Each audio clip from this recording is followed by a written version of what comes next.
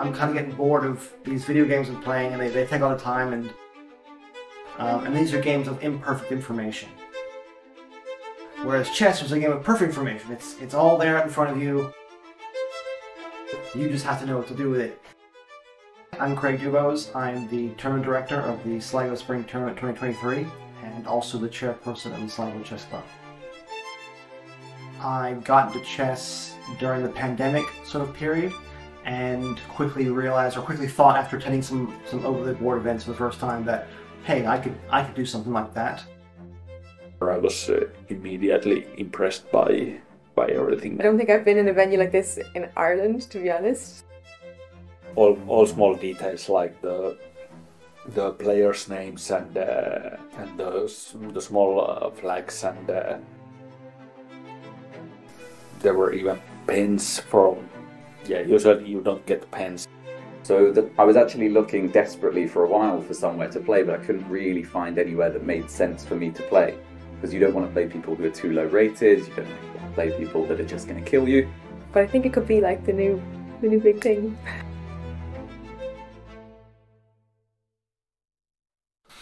So I somehow tracked down the ICU calendar and saw there was a, a tournament coming up in Ennis in a few months, and thought, okay, I, am I'm, I'm gonna go play that that weekender um, and just see how it goes.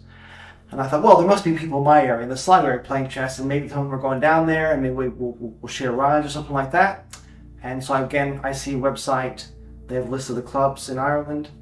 Um, found somebody from Sligo on there. Contacted him. He said, I haven't lived in Sligo for years. As far as I know, there is no club. Um, but there was also an AT, oh, sorry, at the time, IT, IT Sligo entry in the clubs, and uh, the general contact on there was, was Fergal Gallagher. I probably got into chess by going to the Swagman on Tuesday nights. And so it was a great spot. You could go in, have pints, live music, pizza, and play chess every Tuesday night. It was fantastic.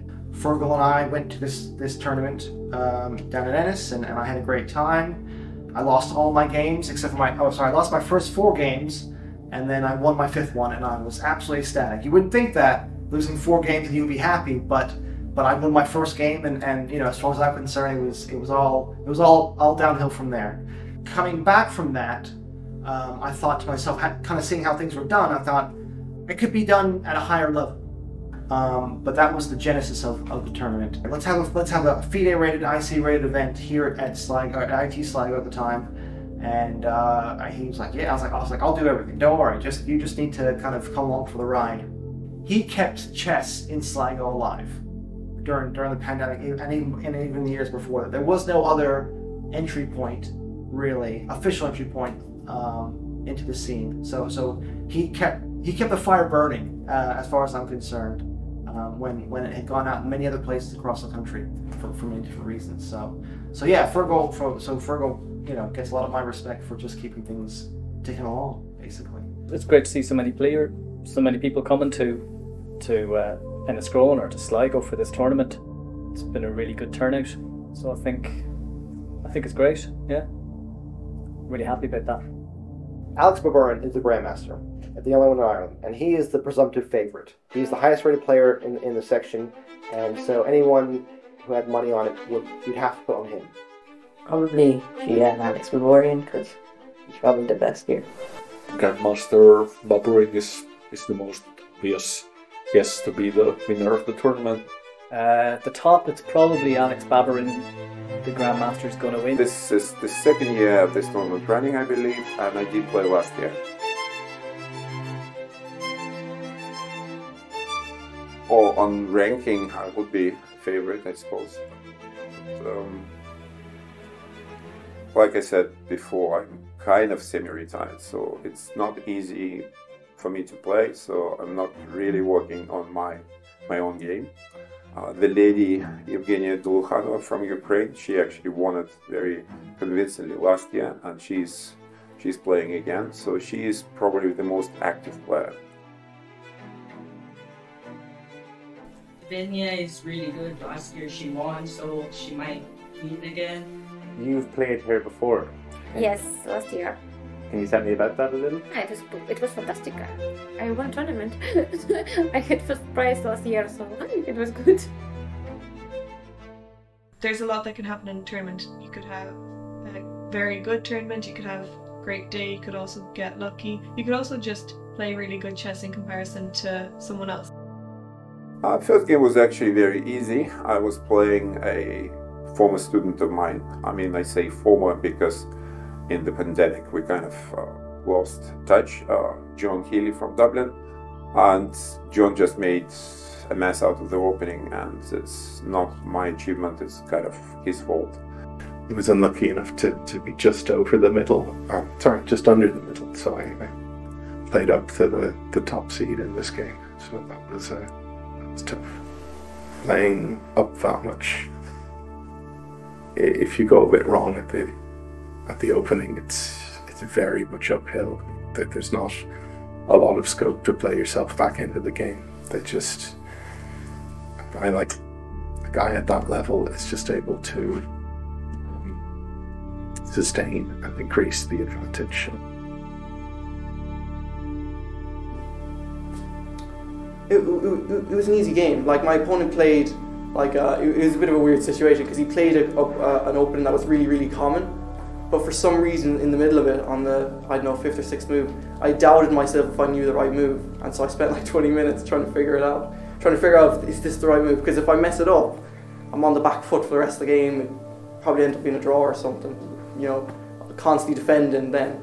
A draw against a much stronger player, so 300 points stronger than me. So yeah, that was a good, good result for me. Also, I think I was actually winning in the end, but I was uh, had a terrible time trouble and uh, was tired and everything. So yeah, I offered a draw and so I'll have to check that game and analyze it later.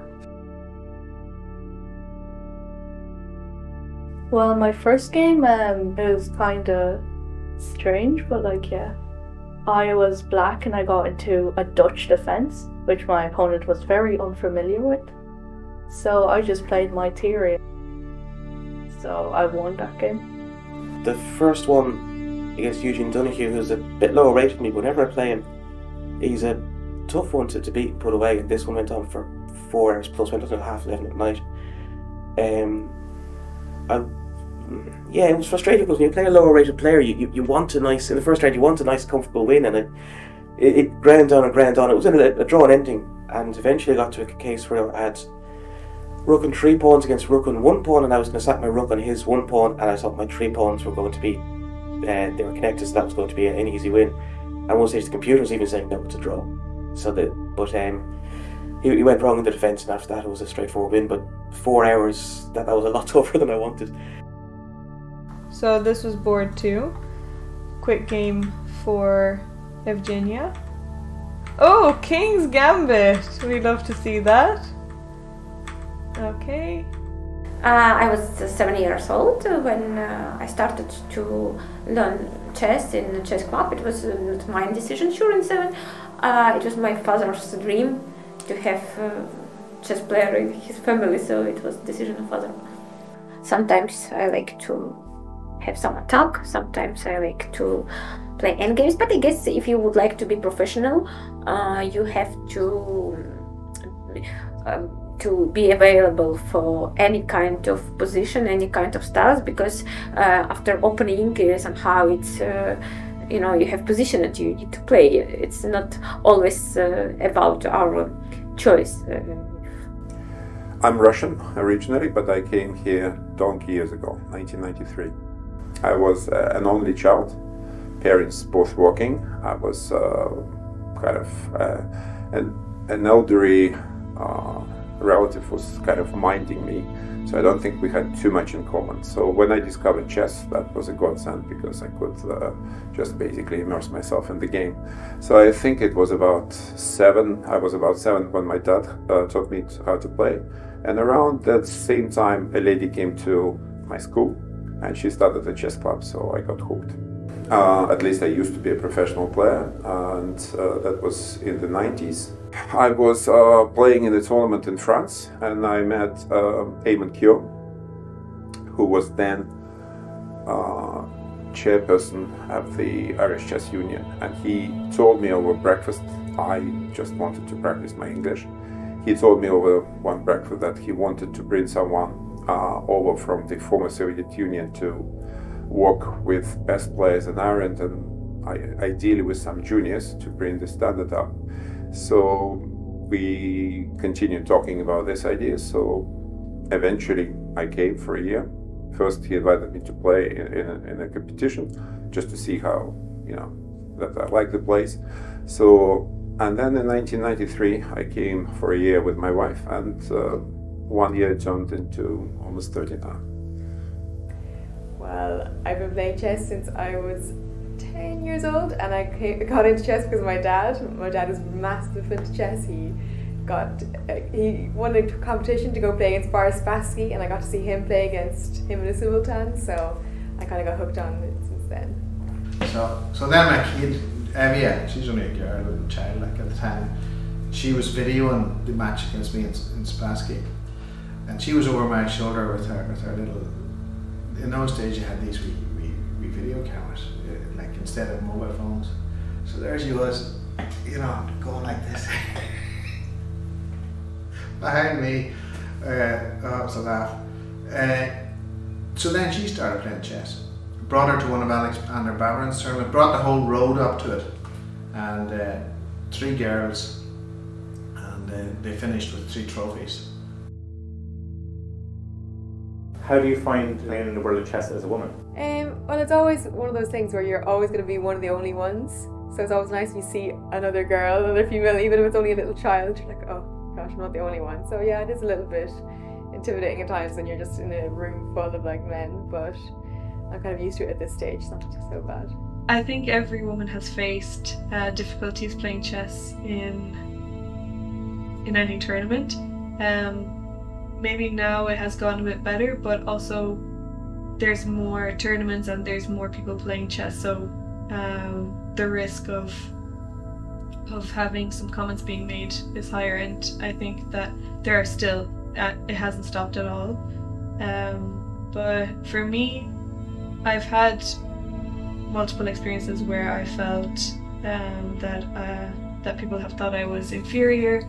Uh, for example, my earliest memory was I played in a tournament in Galway, and it was the first time when I um, entered a masters tournament, uh, masters section, sorry, and um, I was the lowest seed, and I was the only girl, and um, in general, I'm usually the only. I I used to be the only woman in a in a tournament in a section and um, someone commented to my dad and I overheard the, co- the conversation. He uh, he said that what am I doing here? Um, I don't I don't belong in the in the master section.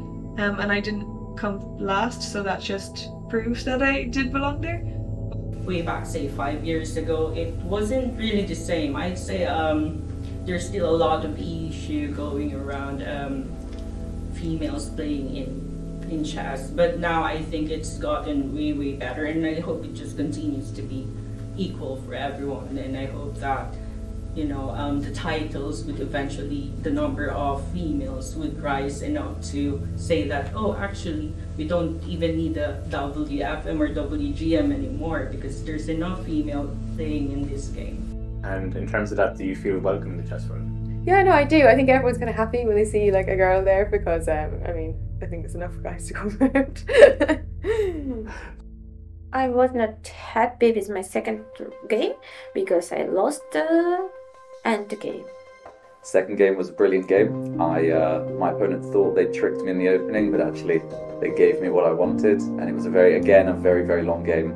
But apparently, according to my friend, I was winning the whole game, but I didn't feel like it. It's always always easier to see it afterwards. It was a great game. It's not so bad as uh, could uh, be, uh, but okay, I still lost uh, a little bit uh, rating, so I couldn't say I'm happy with my result. But okay, after second round, uh, it was no cha- no chances to be happy like. then The second game was quite interesting. Most players would go over the game with with computer with a chess engine, just to see uh, where you went wrong, etc. So I haven't done that with that game yet, but it would be interesting because I think it was a, a game where there were some interesting decisions made, lots of mistakes, I'm quite sure. So, so at some point I thought I was in trouble, then I was winning, then I nearly messed up and then kind of ended up in a draw. Overall, I was a bit disappointed, uh. Saturday morning, I had one of the, the kids, one of the teenagers, I think he's, I think he's 13, uh, played him last week as well. He's, he's very underrated, he's a very strong player online. Again, it, it's when you're playing 500 games online compared to 90 minute games here, it, it's not quite the same thing, but he's, he's a very, very strong player. And you've got to treat him with, you've got to treat him with respect. I drew him last week.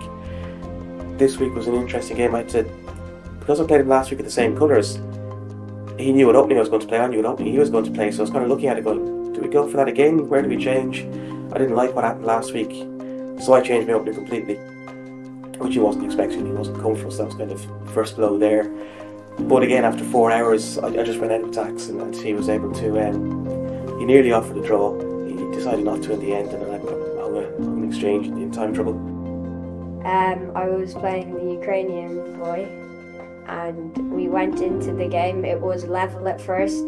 Then I was winning by a bishop. Then he took my bishop back. Then he pinned my rook and queen with a pawn protected by another horse, and took my rook and then he got another queen and he checkmated me. Uh, she played the French defence. It, I never felt that I was outside my comfort zone during the game. On re-analysing the game with an engine afterwards, I discovered that there was a possibility where she could have forced a draw. Um, but I managed to get the win, and, I was quite happy with that because she's um, quite a, a decent player in her own right. And number three just now was again a really long game where was ebbed and flowed, but I thought I was better for almost all the game. And then at the end, it was one of these positions where it's probably a draw, but very difficult for the guy. And then he just made a mistake and it was over. But it literally finished after about four and a quarter hours, which was great. My third game, I got a draw, but um, I got into a Sicilian dragon.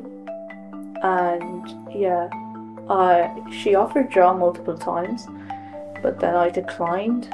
And yeah, I offered a draw in the end, thinking that it was quite equal and she was attacking.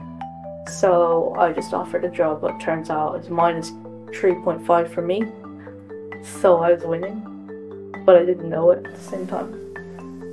This game last night is the most memorable one because it was 70 moves, 70 ish moves, and we were playing on you get 30 seconds per move extra for each move that you play.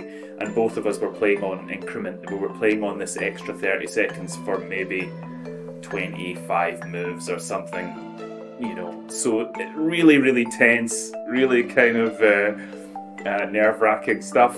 And I, I came off came off worse in the end. But um, I can't have any complaints. Like I look at those games and I think to myself, well, um, I've not hung my queen. I've not lost. I've not given up any pieces, um, really. So I've got to be relatively happy with how I've played.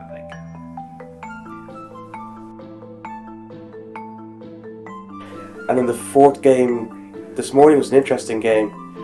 Um, a King's Gambit where I, I didn't really like positioning in the opening, but then I, I found a tactic midway through the game, which, as I was pointed out afterwards by my opponent, Shouldn't have been midway through the game because I just missed essentially a, a, almost a mate in the middle of the tactic.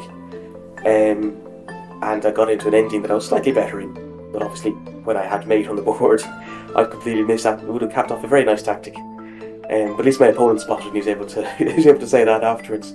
I, I just played uh, Kevin um, there earlier, and uh, he played a nice game as well, and so I've lost that one. So I'm on fifty percent.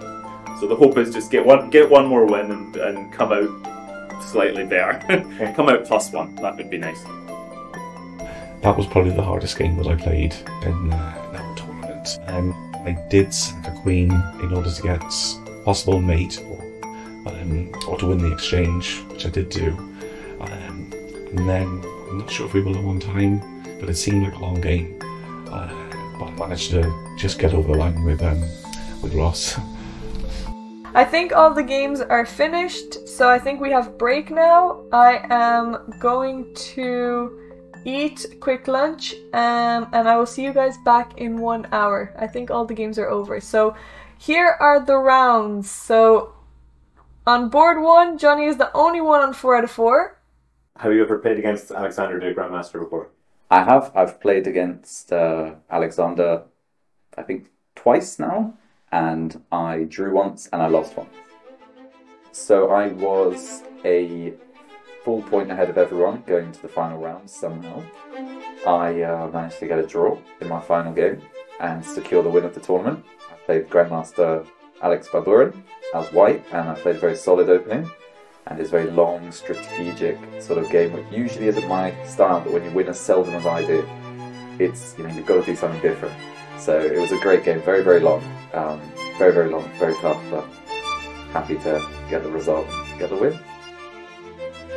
Uh, I was surprised uh, when, when, when, when John Johnny won. Um, and again, this is based on titles. So so you've got a grandmaster, uh, two international masters, a woman grandmaster,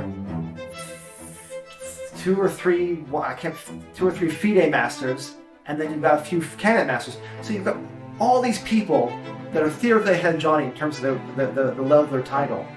In fact, Johnny hadn't even been registered. I think I think it might have been three days before that he he called me and said, "Hey, listen, I need to maybe help get to there from the airport." And I was like, "Okay, make some calls, try to do that." He's like, "Okay, actually, no, you know, never. I'm not gonna come. I'm not gonna come." And then maybe a day later, like, "Okay, yeah, I'm coming." So so this is like this guy goes on to win, and he he probably wasn't. He didn't think he was gonna be there a few days before the tournament. So his he was a very last minute sort of entry to the tournament. Um, so it's funny that even in that sense that you know he might not even come. But even I remember asking him um, after the event, kind of uh, as we're sorting out prize money, and saying, "Were you surprised?" And he said that um, essentially that, "Hey, look, you know, I, I'm." I've been playing some good chess really recently, and, and you know I, I'm, I'm feeling confident and good, and, and he's like if I he's like he said I think said basically if I played well and I played how I can play, then then I have a chance. Then I, I, thought I, I had every chance. Um, so I said, well, well, to you, congratulations, and, and, and well done. So yeah, it was definitely a shock. Uh, the last game, uh, round five, I was very nervous about. I had four out four up until this point. Um, it was against top rated um, uh, Lucian uh, Hashpit. Um, he's a very, very decent player with a very, very good temperament for the game. Uh, my name is Lukian Ahoshpit. Uh, I'm 13 years old. I started six years old and then go to chess club, learn, learn, play. Um, going into the game, uh, I'd looked at the, um, the positions of where everyone else was. Uh, me and Lucian were a point clear of uh, the chasing pack, so I knew that a draw would get us both in the top two. Uh, during the game, I played white.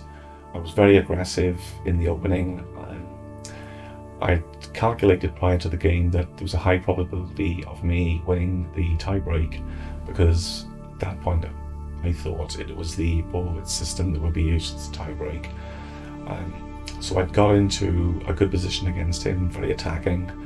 Um, I'm on move 23, I believe, so maybe move 27. I offered the draw uh, with, a, with a bit of gameplay theory, thinking that if he accepts it, thinking that um, he wouldn't, if he did end up losing the game, he would be on four points and maybe drop out of the prize money. So I used a bit of gameplay theory there, thinking that he would accept, knowing that he'd be guaranteed maybe second, thinking that I would get first. Um, he accepted the draw,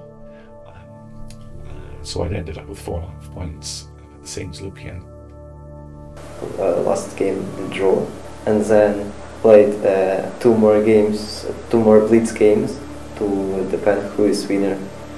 No tiebreak is ever going to be 100% fair. It can't be. It's just a matter of sorting out people who finished on the same score. They, they really share the prize. But you want to give one second and one third, so you have to use some other criteria and no matter what way you do it, some one who comes below will complain. As I said, the the rules and, and that this was going to happen was was all in the terms which was available on the website. Now, of course, as as we all do, we you know, who not everybody reads the terms. Um, some people do, but not everyone does, and people make a lot of assumptions about what's going to happen at this tournament, and that it's going to be like every other tournament they've played in. And then when I announced that we would be starting the Blitz game soon, they were completely blindsided, and and obviously had not looked at the terms, had, had made assumptions about what was happening, had no idea, and I think from their perspective, I had I had taken this thing away from them. For, for the championship, which is uh, and Dean Gorman. Yeah. Okay, guys. So, again, you're younger, so I'll let you uh, take a hand. Which one? So you're white now in the first game, okay? Lucian is white, game one. I I thought he was joking uh, because I've never known any tournament to, to finish a classical tournament to finish in that way. Uh, and then when I realised I had to play um, uh, Lucian again, uh, I then found out he had a rating. I was told either 2200 or 2400 at Blitz. Uh, my heart sank because I thought, oh my god, I'm up against it now. I made an error in the opening. It was the same opening that we'd played the Scotch Gambit in um, our fifth round game. But I made an error in that as the game went on. All I remember is dropping my queen, um, trying to play on, and uh, having no chance uh, against him. Um, I played him then uh, as the black pieces, and I just um, he was just so much better than me. uh, last game draw, and then played uh, two more games, two more blitz games to depend who is winner. And how did that go? And I won two games. So yeah, Lucian, um, I shook his hand straight away when he'd uh, when he'd won. Congratulated him on winning the championship section. I was still a little bit disappointed that it went to the to the blitz situation, um, but there we go. That's that's what happened.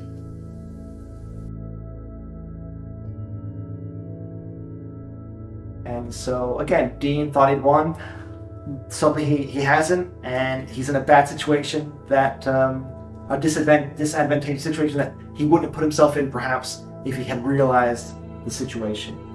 Um, I think, from my perspective as, the tournament organizer or the tournament director, um, technically, I did things um, according to the letter of, of the regulations, but that's probably not that's not good enough um, from, from my from my view. Um, if I had known what was coming uh, in terms of in terms of people being upset and drama afterwards, I would have taken the ten seconds before the last round started and announced it. Um, but it just it just did not occur to me. Uh, apart from that little blitz thing at the end, if I'd known, I may have um, played on in the fifth round, not uh, not off the draw. But that wouldn't just uh, deter me from playing in um, in the same tournament again, uh. It's one of the best tournaments. It's been very very well organised, um, I'm really really happy to find out that we're playing it next year in the same venue. I would say by far this is the most professional weekender I've ever been to.